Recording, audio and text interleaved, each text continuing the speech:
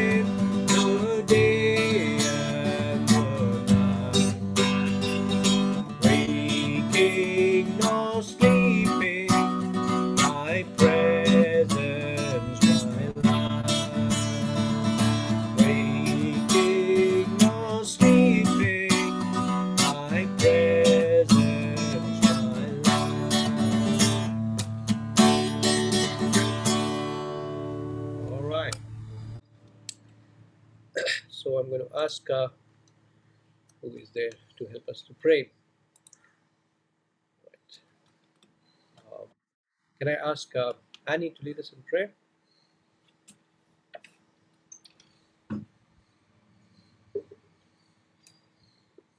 Annie, would you lead us in prayer? Uh, okay. Uh, thank you, Lord, for this wonderful time that you have given us, O Master, to come together in your presence, uh, to worship you and to study the Word of God. Thank you, Lord. Help us to know more about you um, and uh, lead this section. In Jesus' mighty name we pray. Amen. Amen. Right, so good morning once again.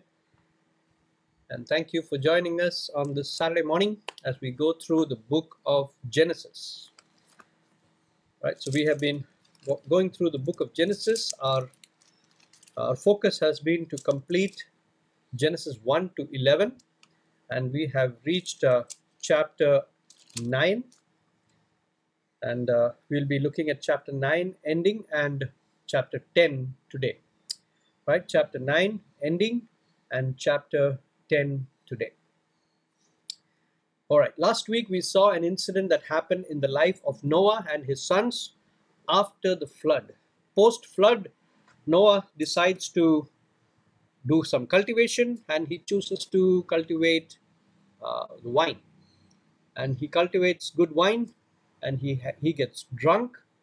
And we see that one of his sons, Ham actually, saw him naked or uncovered in his tent. And then he sort of makes fun of it. He goes and tells his brothers what he saw. And this was kind of a disgrace, shame to his father. But uh, both the other sons, Shem and Japheth, they do something very wise. They take a cloth and uh, they hold both sides of the cloth and they go reverse without looking at his nakedness. They go into his tent and they cover up his nakedness. That is where we saw last time. And today I told you we will be looking at the the curse of Noah and we will also be looking at the generations of the nations that is coming in chapter 10 right? So i'm going to read from verse uh, chapter 9 verse uh, 24 onwards. When noah awoke from his wine and knew what his youngest son had done to him he said cursed be canaan. A servant of servants shall he be to his brothers he also said, Blessed be the Lord, the God of Shem, and let Canaan be his servant. May God enlarge Japheth, and let him dwell in the tents of Shem, and let Canaan be his servant. After the flood, Noah lived 350 years. All the days of Noah were 950 years, and he died. Okay, so our man Noah started out very well, righteous man, but the last 350 years of his life, uh, that is total of 950 he lived, but nothing great is said about his life after that. Okay, so uh, that is the that is the inglorious way or not so remarkable way how Noah's life ends. That's what the Bible tells us. So we should understand that uh, this incident was very crucial in the lives of um, Noah and his descendants. Okay, now let's look at the uh, the detail about this curse. Now, God is not a God who curses people uh, for the sins of their former generations. Okay. But then God does tell us about the consequence of our sin lasting for generations. Okay. So, uh, the, a person's sin has a lasting consequence, or it can carry forward to the next generation. You know, people who who uh, you know live immoral lives and they get uh, you know uh, sexually transmitted diseases, and uh, they can pass it on to the unborn baby, and that baby lives with the curse. You know, not the baby's fault, but what has been passed on as a consequence of the sin lived by his parents. Okay, so it can happen, uh, you know, uh, hereditary. It can happen uh, as passing on through generation to generation. But God is not a God who uh, demands uh, justice from the grandchildren for what the grandfather did. So it is the consequence of sin that is being carried forward. Now, in this case, the grand the uh, Ham was the father of Canaan. So Canaan was cursed, and uh, why why is Canaan cursed and not Ham? Ham is the person who saw uh, Noah naked, but he is not the one who is cursed. But we see the curse on Canaan. Cursed be Canaan, a servant of servants shall he be to his brothers. Now, let's look at this this concept a little more. It was Noah's son that caused shame for his father. And the curse is something of a return to that. And that is like saying Ham's son will cause shame for his father. See, it is the father who is ashamed of the way the sons behave. Okay, so uh, as a father, Noah was ashamed at the way that Ham, his son, behaved.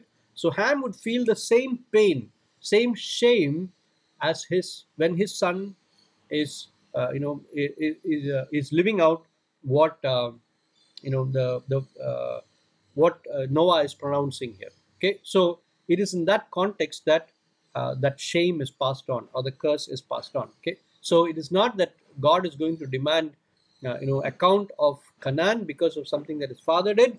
It is the shame of the father that is being passed on to Ham.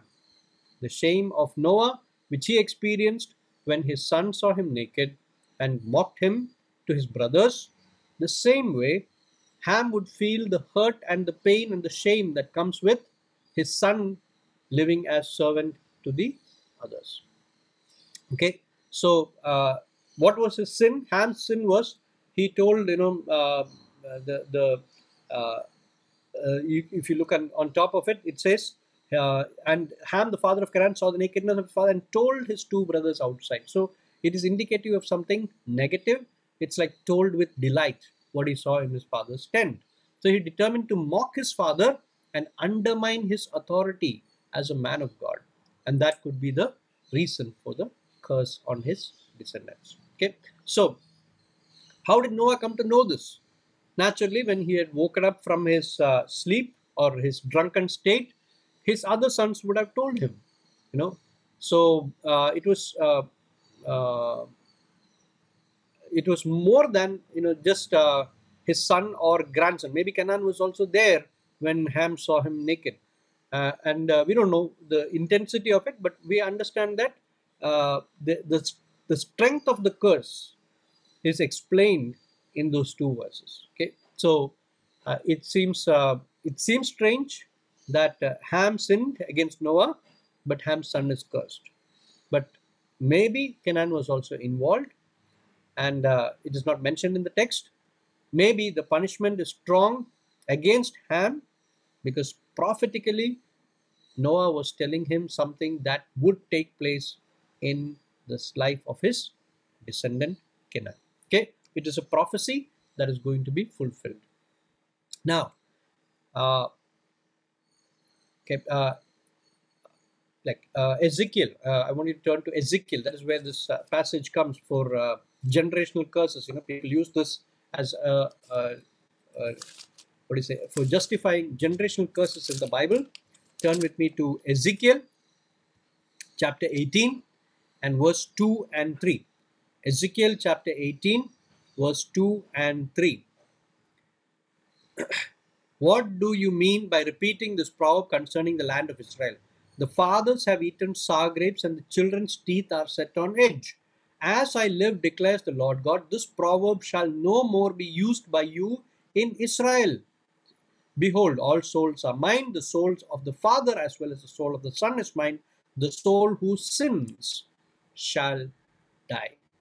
Okay, so in a way, this is not a curse about, you know, because you did this, this is going to happen to your children. This is a prophetic way of telling them that this is how your success are going to be. See? So, uh, the idea, the concept is that it is a curse but the curse is only revealed, which means what is going to happen to the descendants is only revealed through that curse that this is how it is going to work out. And the shame of that event is coming to the father of those descendants. Okay, and thereby it would cause shame and hurt to Ham. Okay, now why is this so important? This is so important because throughout of history, throughout human history, uh, whenever you know the slave trade was prominent in the earlier generations, there was a lot of slave trade. People prejudiced uh, black people, okay? black people from Africa and south of Asia. You know, people were sold as slaves because they were said to be under the curse of Canaan. Now, this was a false justification for slavery. അടിമത്വത്തിലേക്കുള്ള തെറ്റായ ഒരു ഒരു excuse ആയിരുന്നു they were trying to make this verse come true because they wanted slaves okay so it was a wrong way of misinterpreting the bible and misinterpreting and applying the bible to a race to a tribe and making them slaves of other people. God has deemed them to be slaves. God had never planned like that. God had never planned. This was not black people that the bible was talking about okay? So actually canaan was the father of the eastern people okay? So uh, this was the time when joshua came with his army when israel was being freed and they came to canaan. Joshua and with uh, the whole of israel when he took the promised land all canaan the people who were occupying canaan were beaten that time okay so canaan was the father of the eastern people eastern tribes and most of them were conquered during israel uh, Israel's taking or conquering of the promised land. Okay, but later on, centuries later, the English and the Europeans used this verse as a justification for slave trade. That is why this verse is very very important, and they have been misinterpreting and misquoting it just to justify slave trade. Right. So uh, it, it cannot be used that way. That is what I wanted to tell you. It cannot be used that way to justify slave trade. All right, and finally, we see the blessing that is given to the others. Blessed be the Lord, the God of Shem. Let Canaan be his servant. May God enlarge Japheth and let him dwell in the tents of Shem, and let Canaan be his servant. See, twice it is mentioned about Canaan being the servant. Actually, three times it is mentioned. You would see it in verse 25, verse 26, and verse 27. Three times it is mentioned about Canaan being their slaves. Okay. So uh, it was something about a revelation that was happening to, about to come from the future. Right. Okay. Uh, so I hope you have understood this much, and we'll continue into the now. Why is it uh, significant for us in chapter ten? See, that gives us an idea about the next nations. Okay. chapter ten is about the nations that descended from these three, you know, families: Shem, Japheth, and Canaan.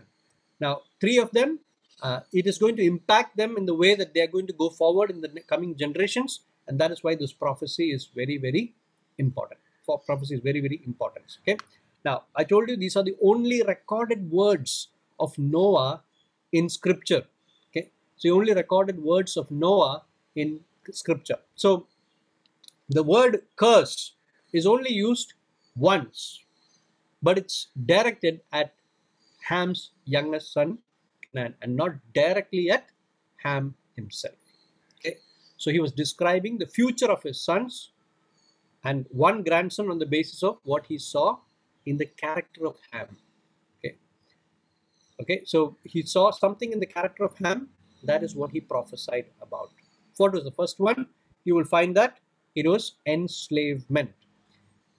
See, um, Looking down through the centuries, Noah predicted three times that the descendants of Canaan would be the servants.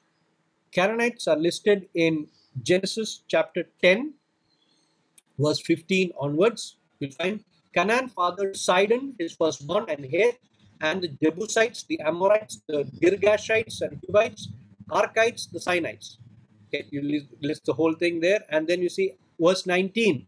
And the territory of the Canaanites extended from Sidon in the direction of Gerar as far as Gaza, and in the direction of Sodom, Gomorrah, Admah, and Zeboim as far as Lasha. These are the sons of Ham by their clans, their languages, their lands, and their nations. Okay, and their nations. Now, uh, God warned the Jews when they were entering into Canaan land not to live the way of the Canaanites. Okay, not to live the uh, what? Why? Why was the what was wrong with the Canaanite way of living? It is explained that they are full of idolatry.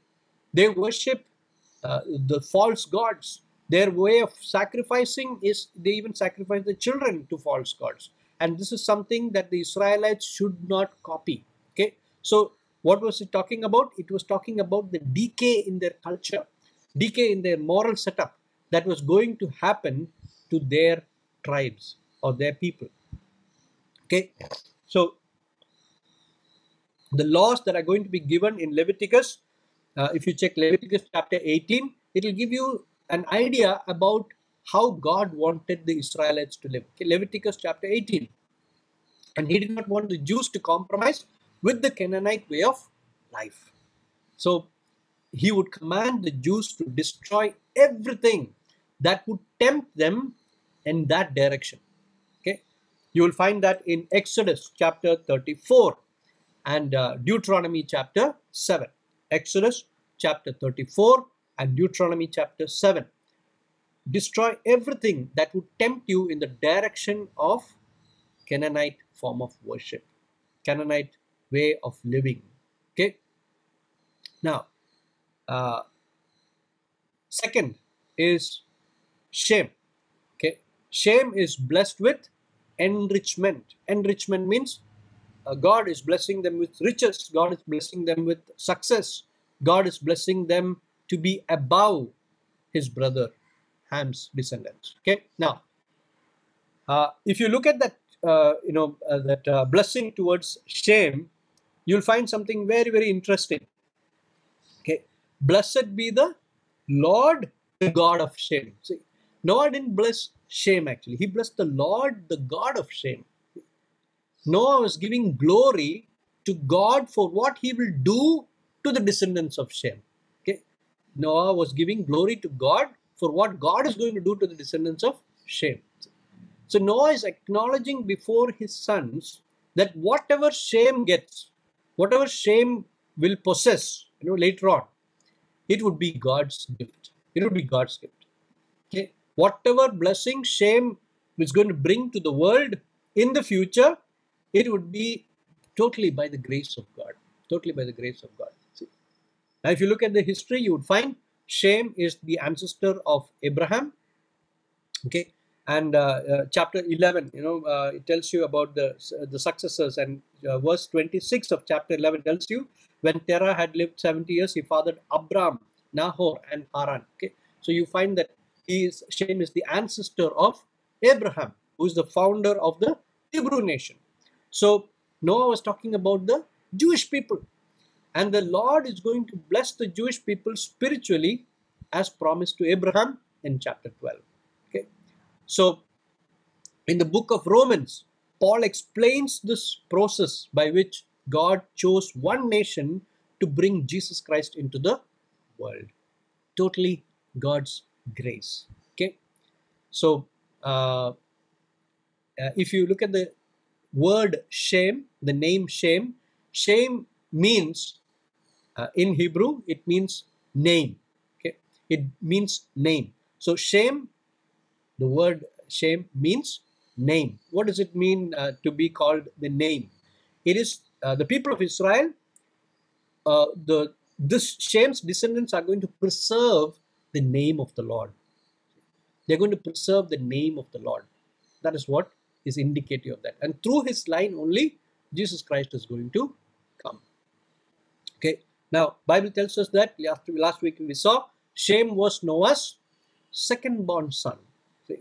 So wherever the three sons are listed, Shem's name is first. Shem, Ham, and Japheth. So as a leader, you know, the, the younger will serve the elder. No, sorry. The elder will serve the younger. That principle is also fulfilled by, by denoting that Shem to be a blessing over the others. Okay, so God chose Abel instead of Cain, Isaac instead of Ishmael, Jacob instead of Esau. Okay, Paul explains the same truth in Romans chapter 9. Okay, I'll say it again. The principle of God choosing not the first. Okay, uh, so that is to follow the examples of Abel instead of Cain, Isaac instead of Ishmael, and Jacob instead of Esau. This is explained in Romans chapter 9. Second born taking precedence over the firstborn. Okay, it is indicative of the second Adam being superior to the first Adam. Adam of the Garden of Eden, Jesus Christ as the second Adam. Okay, indicative of that. Romans chapter 9. So Shem is enrichment, Canaan enslavement. Now, if you look at history, you will find the evil ways of the nations that come after this, the Tower of Babel and all that, you will find it has to do with Ham, Ham and his descendants. Okay, so uh, um, they had the Babylonians, the Assyrians, the Egyptians, all come as descendants of Ham. Now, if you look at history, uh, our secular history, you will find that great things came out of these civilizations. Babylonian civilization, Assyrian civilization, Egyptian civilization. See, so they, though the curse is that they would serve the others, we see that these civilizations thrived and a lot of good things for the world came through these civilizations. Okay, so we can say like just like how those uh, Cain's descendants brought a lot of uh, what do you call it gifts to the world you know by like mu bringing music and by, like bringing that and this you know many things that they brought in to the world. The same way ham's descendants they they they spawned great civilizations and they brought great things to the world. So worldly blessing came from Canaan's descendants Babylonians, Assyrians, and Egyptians. Spiritual blessings came from Shem's descendants Abraham, Israel, Jesus Christ. Okay, so in that way, spiritual blessings came to Shem, worldly blessings came to Canaan. Then let's look at Japheth. Now, he was the ancestor of what we call the Gentile nations. Now, uh, the Hebrew name Japheth is very close to the word to enlarge. Okay, so Japheth stands for enlargement. The Ham tribe of people, Ham group of people, they built large civilizations in the east. Okay, but the descendants of Japheth, they spread out more further than their relatives. They reached all the way towards Asia Minor and Europe. They were a people who would multiply and they would claim new territories. So Japheth stands for enlargement. Okay, so uh, they were successful in their uh, in their uh, wars. They would uh, take play, you know, authority when it came to uh, uh, when it comes to brute power and land. They would go farther and wider than both the others. Okay, so that is enlargement, ancestor of what we call the European and Asia Minor settlements. Okay, all the nations that come towards the east and come towards the northern part of Europe. Okay, that is how they settled. So, uh, with regard to spiritual uh, things, they would be dependent on Shem. So, God is the God of Shem, and the descendants of Japheth would find God in the tents of Shem. See, may God enlarge Japheth and let him dwell in the tents of Shem and let Canaan be his servant. See, so if with spiritual things, Japheth has to depend on Shem. Okay, so God is the God of Shem, and the descendants of Japheth would find God in the tents of Shem. So Israel was chosen to by God to be the light to the nations, the Gentile nations. For the salvation of the Jews, was the plan that God implemented to bring salvation to the whole world. Okay, through the Jews, God planned that salvation would reach the Gentiles. Okay, now you look at history and you would find that Israel failed. Israel failed as a witness to the Gentile nations. So uh, they did not believe in the true and living God, and God had to use these civilizations. You know, He had to use Babylonians, Assyrians, Egyptians to teach Israel a lesson. Okay, so very significant. We say that the nation was cursed, but the descendants were used by God as instruments of punishment when Israel, the chosen ones, became wayward. They started worshipping the wrong gods. They started following the culture of the locals. And that was reflected, and God used those nations who were supposed to be servants. He used them to make Israel their servants. See, a lesson that was taught by the uh, to the Jews by using the Gentiles. Okay, now when Jesus came to the world, what did he bring? Let's check Luke, the Gospel of Luke, and chapter 2. Luke chapter 2. Okay, turn with me to Luke chapter 2 and verse 32. This is the promise about Jesus that is declared by this, uh, you know, this um, man of God uh, at the temple. He says here, um, Lord, uh, verse 32, a light for revelation to the Gentiles and for glory to your people Israel. Simeon, this old man who uh, who says, "My eyes have seen the glory," he's making the statement about Jesus. He has brought light to the Gentiles. See, now when Jesus brought the light to the Gentiles through the Jewish nation, and the apostles they carried the light to the nations. Jesus said, "Go into all the world." See, so descendants of Noah's three sons were represented in the early church. You would see the Ethiopian eunuch, okay, descendant of Ham, Paul, descendant of Shem, and Cornelius and his family, descendants of Japheth. Okay, I'll say it again. The Ethiopian eunuch, descendant of Ham, Paul, a descendant of Shem, and Cornelius and his family, Acts chapter 10, descendants of Japheth. All three represented in the early church. Okay, so this is in context of how the nations spanned out after uh, Noah's time. Okay, now as we look at the details of this chapter, we have to draw some spiritual lessons from it. Okay, but we have to have some warnings also.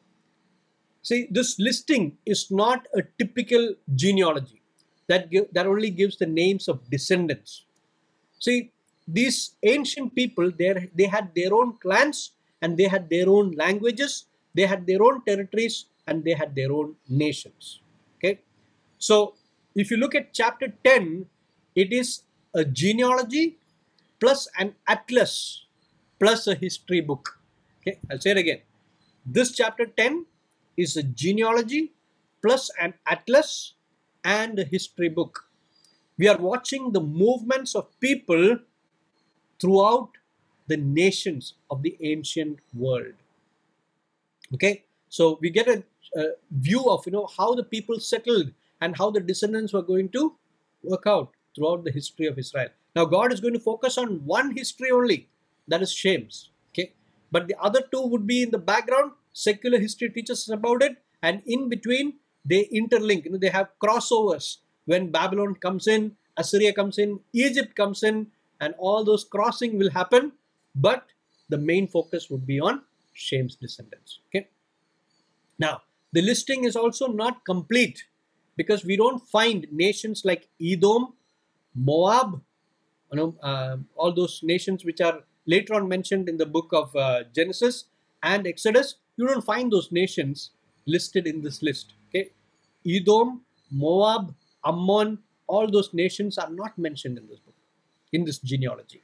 Okay, but uh, you know those those nations are important for biblical history. Edom is important. Moab is important. If you look at the history of Ruth, you'll find that Moab is very very important.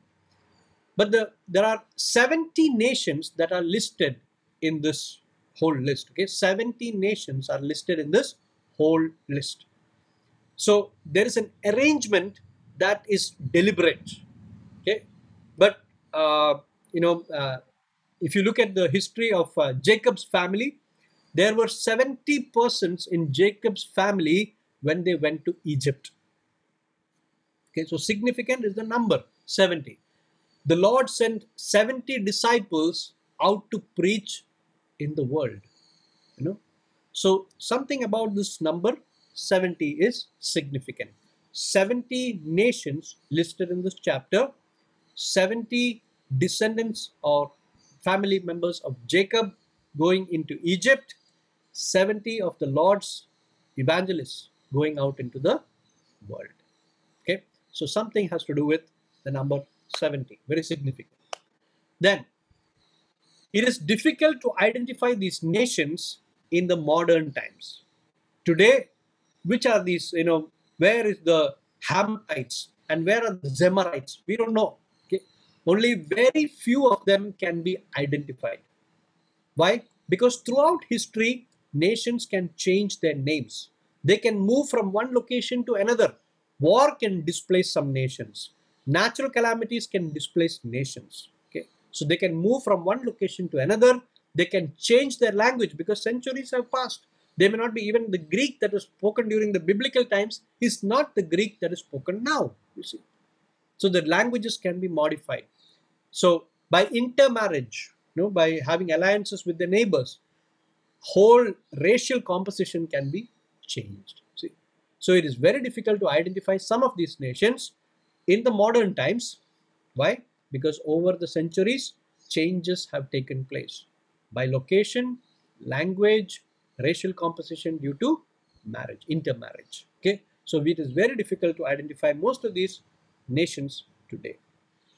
Okay, so if somebody says so and so, it could be purely speculative. It cannot be, uh, you know, adhigarika We cannot say with force that this is that nation or this is this group. Okay, only very few of them can be traced to the ancient setting. Okay, now uh, let me look at uh, okay, not the list of it, but uh, you know you can read the list, the names, but some names are very very important. Okay, some names are very very important. Now, uh, if you find uh, verse six, you will find um, the sons of Ham, Cush, Egypt, Put, and Canaan. The sons of Cush, Seba, Havilah, Sabtah, uh, Raamah, and Sabteca, sons of Raamah, Sheba, and Dedan. Cush fathered Nimrod. He was the first on earth to be a mighty man. He was a mighty hunter before the Lord. Therefore, it is said, like Nimrod, a mighty hunter before the Lord. The beginning of his kingdom was Babel, Erech, Akkad, and Calneh in the land of Shinar. Okay. Now, the Bible, as it lists these descendants of Ham, suddenly puts a, a bracket, a parenthesis, we call it, to discuss one man, a famous man. Okay, so this famous man, his name is Nimrod. He was the founder of a great empire, the Bible says. He's mentioned because he's he the nation that he founded plays an important part in the history of Israel.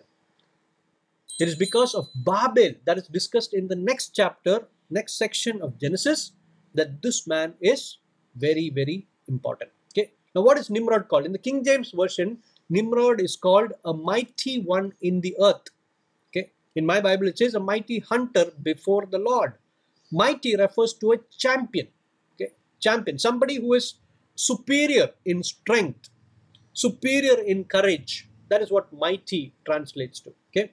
Uh, if you look at mighty men of David, which means they were superior in strength, superior in courage, willing to do anything for the king. Okay, mighty men. So David's special bodyguards were called the mighty men of David. Now, image of Nimrod in the text is not like a sportsman hunting, you know, uh, hunting deer or hunting animals. No, but the picture that the Bible gives us about Nimrod is a ruthless leader who is like a dictator. Okay? Who's like a dictator. He is he will go to any lengths to establish his empire. He built four cities in Shinar okay, and four more in Assyria. Both Babylon and Assyria became enemies of Israel. Was, they were used by God, I said, to discipline or correct Israel. Okay, so uh, as we read uh, the Tower of Babel, we will do uh, an extensive study on Nimrod. But understand that the word that is used here is of an evil dictator, a tyrant who would go to any lengths to establish his empire. Okay, so what is the significance of all these names? Now, these names carry some theological truths. What is that? The first truth is that God, Yahweh, is the Lord of the nations. Okay, uh, uh, the the understanding number one is that Yahweh is the God who is the Lord of the nations. God gave their nations their inheritance. He determined, you know, before the, uh, the, the times that were appointed for these nations, how long they will live, how long they will rule, how long they will conquer, how much land they will possess. All these things have been appointed by God. He gave them their boundaries and where they can live. It is determined by God and God alone. Turn with me to Deuteronomy chapter 32. Deuteronomy chapter 32 and verse 8. When the Most High gave to the nations their inheritance, Deuteronomy chapter 32, verse 8. When the Most High gave to the nations their inheritance, when He divided mankind, okay, when He divided mankind, He fixed the borders of the people according to the number of the sons of God. See? So when the Most High gave to the nations their inheritance. So God is the one who divides. God is the one who determines which nation's border is supposed to be where. It is appointed by God. Turn with me to Acts chapter 17. Book of the Acts of the Apostles, chapter 17. Okay, Acts of the Apostles, chapter 17 and verse 26.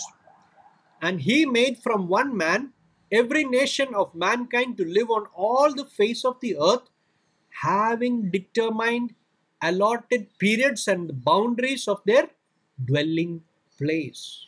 Okay.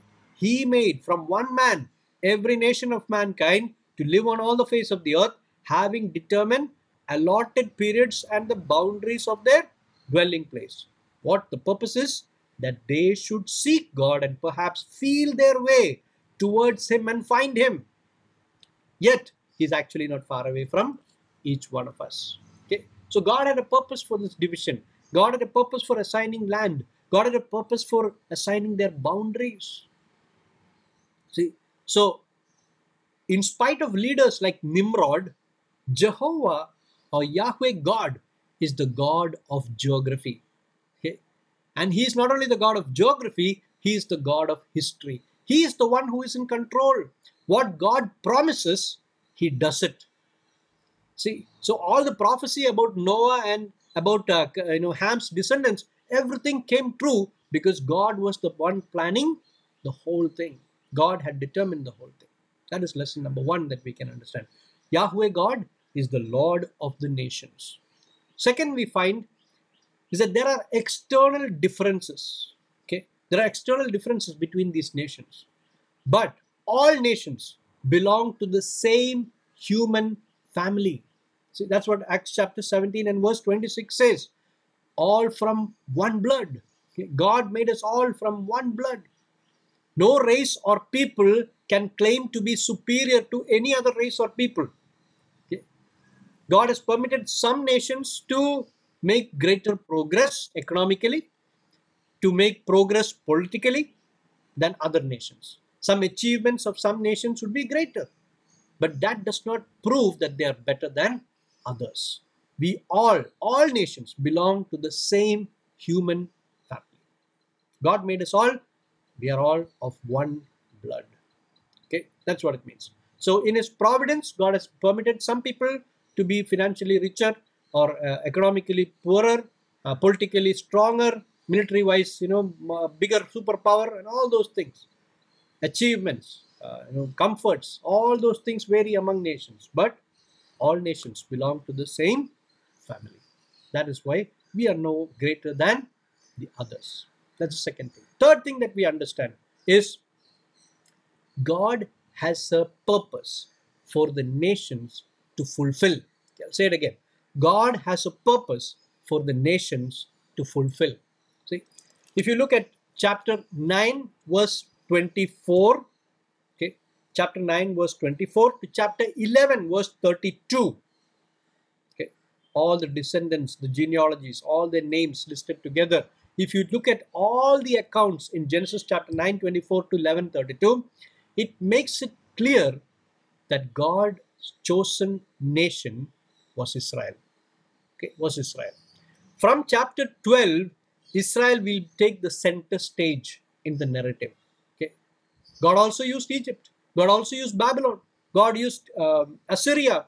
He used the Medo-Persian Empire. God used the Roman Empire to accomplish His purposes with reference to the Jewish people. With reference to the Jewish people. See, so God had a purpose and has a purpose. I won't say had. God has a purpose for the nations to fulfill. And He will fulfill it in His time. He will fulfill it in His time. And it's all in relation to the Jewish people. I told you, God can use pagan rulers. We see that throughout the history of Israel, God can use pagan rulers like Nebuchadnezzar, Cyrus, um, then Darius, then Augustus Caesar. Every one of these kings, every one of these empires, every one of these nations can be used by God in connection with the Jewish nation, which was his chosen vessel. Chosen vessel. Okay. Now you would ask yourself, why God chose Jews? Why couldn't he choose? He had to start somewhere. That's what Paul says. And he chose by grace, he chose Israel. By grace, he chose Israel. So God has a purpose for nations to fulfill. Fourth thing that we read about this in this passage is God is not only concerned with Israel. Okay, just because he chose Israel, God is not only concerned with Israel. He is concerned for all nations. God is concerned for all nations. See, if you look at the book of Psalms, okay, turn with me to the book of Psalms, chapter 66. Psalm 66, verse 1 onwards, okay, 1 to 8, if you read it, you will find here references to the universal vision which God has for all nations. Shout for joy to God, all the earth. Sing the glory of his name, give to him uh, glorious praise. Verse 8 Bless our God, O peoples, let the sound of his praise be heard. All nations, okay? His focus is always on all nations, all lands, all nations. If you check chapter 66 of Psalms and again chapter 67, you know, chapter 67 says, May God be gracious to us and bless us and make his face to shine upon us, that your way may be known on earth, your saving power among all nations. See, God chose Israel, but his focus was on Israel so that he could bless all nations. All nations. This is shown when he chooses Abraham also. God says, I will choose Abraham so that I can bless all nations. I can bless all nations. See, his vision is universal. His vision is global. Okay, all the nations of the earth must come to know God and serve Him. So, the Great Commission was there even before the church was established. God's vision was the Great Commission. God's vision for Israel was the Great Commission. He wanted to reach the whole world by taking Israel by choosing Israel. See? So God is concerned not just for Israel, He's concerned for the whole world. The church's commission is to go into all the world. Okay, but that is not a New Testament. You know, suddenly God had an idea like, okay, let us reach the whole nations. No, it is written into the pages of the Old Testament story. God has a burden for all nations. Okay, so As you look at this, let us remember these four great lessons that God is teaching us this morning. First of all, Yahweh God is the Lord of the nations. Yahweh God is the God of the nations. He has given the nations their inheritance. He decides their boundaries. You know, He is the God of geography and He is the God of history. History, He is the God who is in control. Whatever He promises, He will perform it. Okay, so whatever He has planned for them will take place. He is the God of the nations. Secondly, in spite of all our external differences, all nations belong to the same human family. We are no better than each other. We are all the same. Okay, we belong to the same human family. Thirdly, God has a purpose for the nations to fulfill. With every nation, He has got a plan. With every nation, it has this is connection with Israel, but every nation, God has a plan for them. Fourthly, God is not concerned with just one nation. He chose one nation so that He could, uh, because He has concern for all nations. The Great Commission was not an afterthought in the New Testament, it is the foundation and basis of even choosing Abraham. Promises given to Abraham reflect that he is a God who is concerned for all nations. Okay, so the mission did not originate in the New Testament, mission was originated in God's heart even in the Old Testament. Okay, now Noah's three sons they left a mixed legacy in the world, but the Lord of the nations was still in charge, and history is always his story. Okay? History is always his story. Three sons spread out, spread all over the world. God has a plan for each one of those groups. So as we look to him this this morning, let us focus on the God who is the Lord of geography, the Lord who is the Lord of history. He is still in control, he is still in charge. Let's pray. Heavenly Father, we want to thank you because you are a gracious God. Your plan was to reach the nations, and your gracious plan has enabled us to join here this morning. Because missionaries came and evangelized, and they spread the word of God here in our nation, we have received this great salvation that God had planned. When you promised to Abraham that all nations would be blessed through him, no one knew the extent of that plan. No one knew the vastness of God's plan. As we look to you this morning, help us to see how you planned everything from then. And you charted things out so that every one of us would know you and worship you. What a great plan that you had. The way that you implemented it, the way that you went about coordinating it. Father, we have no we have no clue about how great your plans are, how vast your your mission is. But we thank you because we are a part of that. And we are able to see it this morning that God has a plan for all nations. As this pandemic is raging, and as we look to the world around us, help us to get a clear glimpse of the Lord who is in control, who is still on the throne. The God who is the God of history and the God who is the God of geography is still on the throne. Nations are moving, getting displaced. Uh, tribes are getting relocated refugees are moving from one place to another, but you are still in control and you have a plan for the nations to fulfill before the coming of your Son. Help us to surrender ourselves to your plan. Do not let us not panic, O Lord, when things look to be out of control for us. Help us to know the one who has control over everything is still on the throne. We surrender ourselves to you. Help us not to consider ourselves better than others. Because we have known you, it is simply by grace nothing of our merit, nothing of our ancestors' merit. We all belong to the same, same family. No one is better than the other. Help us to acknowledge each other. Help us to love one another and show forth and declare to the nations the God of all nations. We thank you and we praise you. In Jesus' name we pray. Amen.